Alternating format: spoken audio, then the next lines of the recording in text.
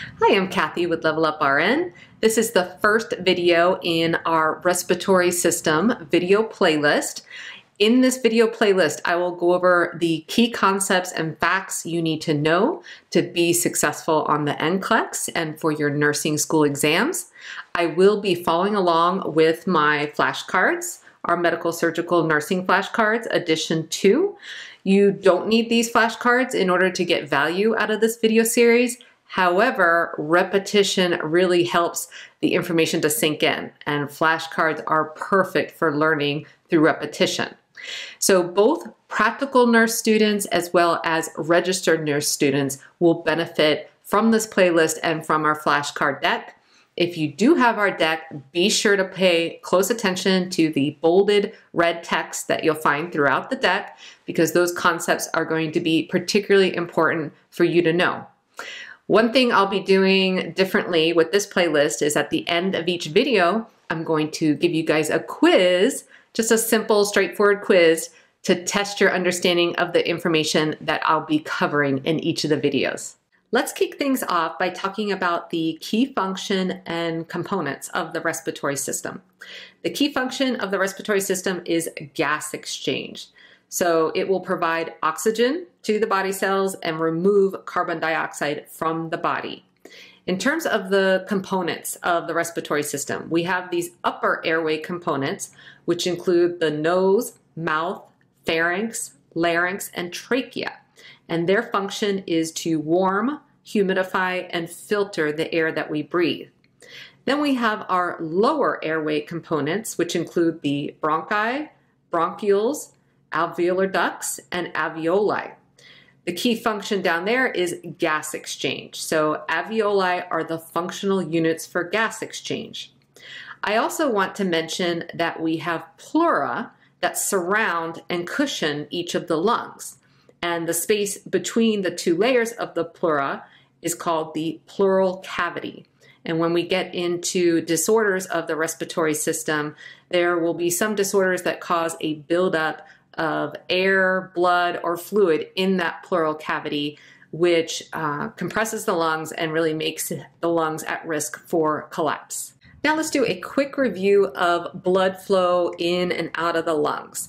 So deoxygenated blood from the body goes to the right atrium and then to the right ventricle and then to the lungs where it becomes oxygenated and then is returned to the left atrium.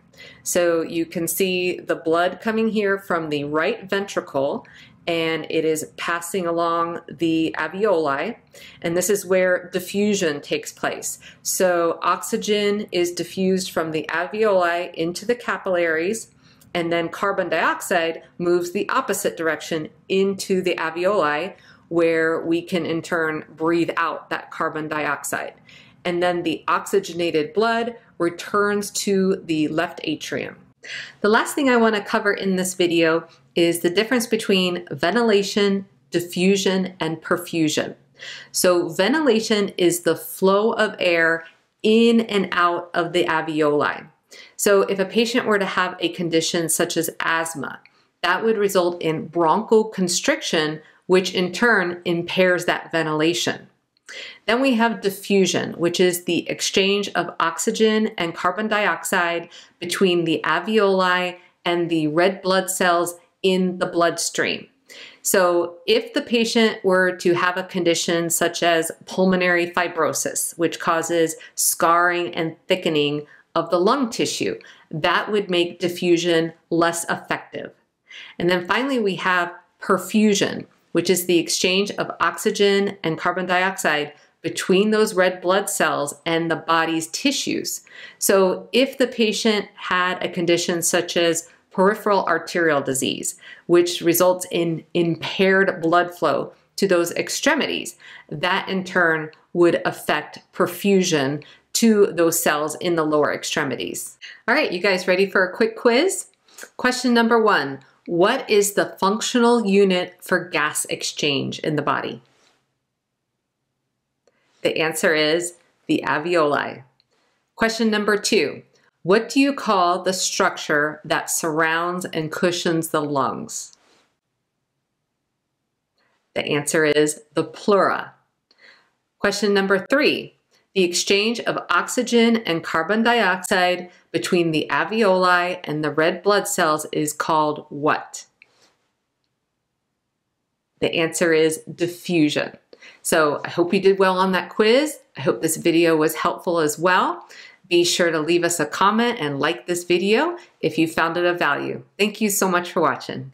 I invite you to subscribe to our channel and share a link with your classmates and friends in nursing school. If you found value in this video, be sure to hit the like button and leave us a comment and let us know what you found particularly helpful.